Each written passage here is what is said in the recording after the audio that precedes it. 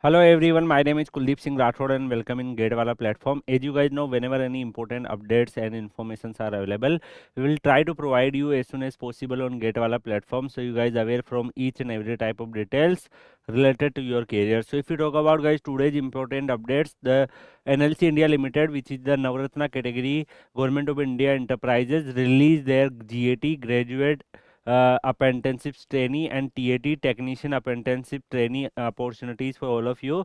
So uh, for graduate apprenticeships, mechanical 94, technicians 57, electrical 93 for mechanical 93 for graduate part and technician part 63, uh, 66, civil engineering 34 for graduate part and 15 for technician part, instrumentation 14 for graduate part, 10 for technician part, chemical 9 for graduate uh, apprenticeships and similarly mining 49 graduate part 32 technicians part computer science and engineering 49 graduate part 13 technician part electronics and communications graduate uh, 9 and technician 10 opportunities are there. Similarly for information technology 6 for graduate opportunities total 357 for graduate 218 for technicians available.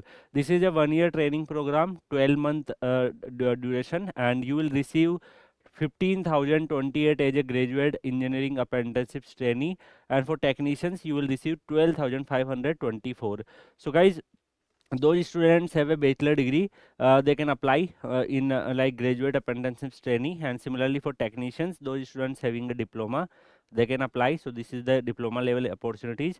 Age limit is based on the apprenticeships rule. And then method of selections they are going to shortlist you based on your qualifying diploma or degree. So whatever percentage or cgpa system you have accordingly they will shortlist you. And then uh, for application part what you need to do you need to visit the official website uh, uh, on nlcindia.in and you need to uh, visit a career part select a trainee and apprenticeship tab fill your application form where the last date is 2 January 2026 so before that you need to complete your form.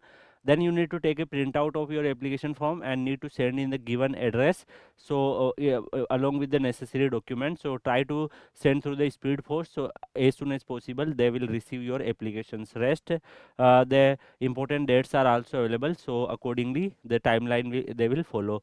Rest you will get this pdf in kuldeep underscore pw telegram channel from where you can access this pdf we'll meet in another video with another update.